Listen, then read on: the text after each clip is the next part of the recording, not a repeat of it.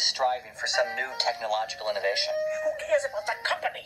What about us? And that's certainly the case in Monsters Incorporated. That's right, baby. Uh-huh. In every story that we create at Pixar, there is something in the story that's something we don't know how to do. I love working with that big guy. We don't want to just repeat ourselves. We want to, you know, push the envelope technically. So whatever they say, I'm not sure exactly how we're going to do that. I'm thinking now, I've got used to that, but they're probably going to figure it out in a couple of days.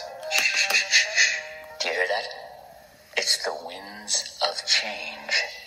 This film's always been a film about a uh, big hairy monster. You're the boss, you're the boss, you're the big hairy boss. And that, of course, got everybody very worried initially because fur in general is one of the hardest things to do in computer graphics.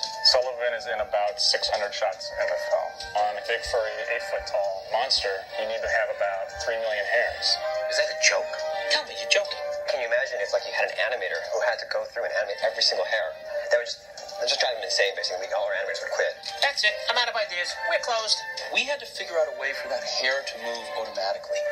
And that's the genius. We engineered a whole dynamic system that basically let the animators not have to worry about that at all. Our animators just move the character, and then computationally, all the fur figures out how to move itself. And that allows us to achieve a level of visual complexity that we never could without this dynamic, intelligent fur. So he'll do this movement, and the fur is aware of gravity and some sort of wind resistance, and it responds appropriately. And uh, the same thing is true of cloth. When I move my arm, this is very sophisticated bending and folding of that cloth. It's just completely random, and, and, it, and it moves, you know, all over the place.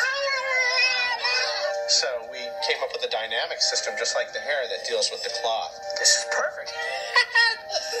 The animators could just have Boo run around and be cute, and after the animation was done, we would apply this automated animation to her t-shirt that would figure out how everything should move and fold. The software that we're using is simulating the basic laws of physics, such as the bending and the stretching and the shear and that kind of thing. The nightmare is over. The dynamics puts us into a whole different realm where you're not asking an animator to create motion, but now we're asking a computer program to create motion. And so the cloth moves by itself, the fur moves by itself. And this is where we put a tremendous amount of energy. What a plan. Simple, yet insane. The door vault is pretty amazing at Monsters Inc. It's got something like 23 million closet doors stored in it.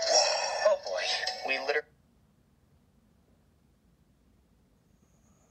Little afraid of, uh, you know, the complexity and the technological challenges that we had to actually make this environment to look believable. You're like, no, it can't be done. Yeah.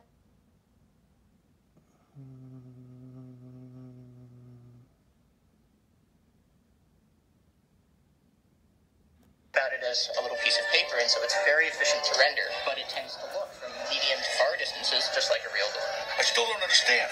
Basically, what I did was uh, create a, a sort of program that figured out exactly how the doors should move. Oh. If the door is going around a curve, then it needs to swing out to approximate that centrifugal force. There's this really nice organic um, quality to it. It looks almost like a traffic jam in San Francisco. We're working on scenes right now that involve Sullivan in the Himalayas. You have to be extremely foggy, so to give this feeling of you know coldness, very hostile environment. No! No!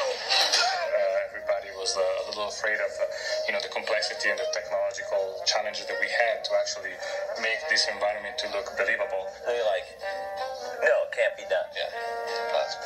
In particular, we have two specific sequences that happen to be in completely a snow environment under like a snowstorm. Okay. But then, then you challenge her to say, no, come on, you can do it. You, guys can do it. You're awesome. You're still not listening. Ah! We actually do model those snowflakes individually that fall. And we have to take account things like the wind, because the wind also would affect the way Sullivan's fur moved.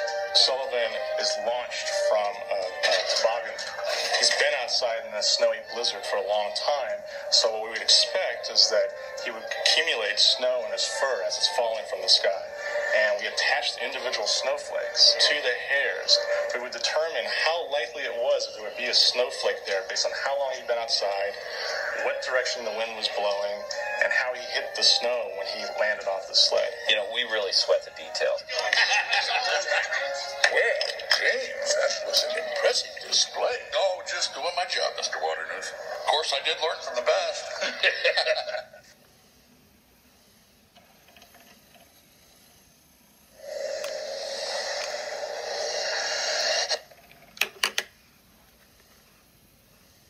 The shots department a new thing for monsters. We were really looking at a very interesting challenge when we started monsters, and that was the challenge of simulation. Between Sullivan and Boo, Boo has a simulated shirt, Sullivan has simulated hair. We were looking at um, probably somewhere in the order of 900 to 1,000 shots that we're going to have simulation. So we're really introducing a whole new step in the pipeline. Um, it's the first time we've actually used simulation in production, and so we were concerned about some of the technical issues that might come up with simulation.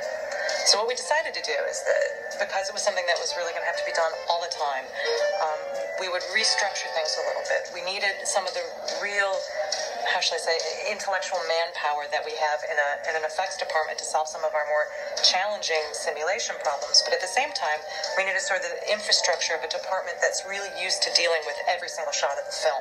And so what we did is we took rendering that had that infrastructure in it, and we took effects that had that, that brain power, and we mushed them all together, and we added some people and trained everybody on simulation and came up with the shots department.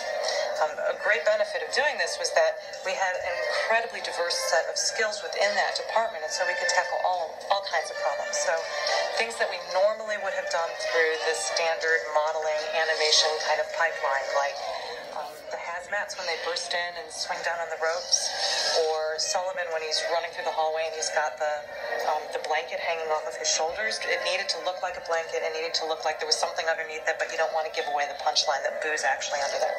Um, little things like eh, things you wouldn't even think about, like tears. Um, and in, in particular, I think that the, the most fabulous use of the tears was with Sullivan when he says goodbye to Boo. You really get a sense that Sullivan is just, he's welling up, he's near crying, and, and that, that glassy, almost crying look on the eyes is really spectacular. So it was a lot of fun. We got all of the oddball challenges of the film got thrown into this department.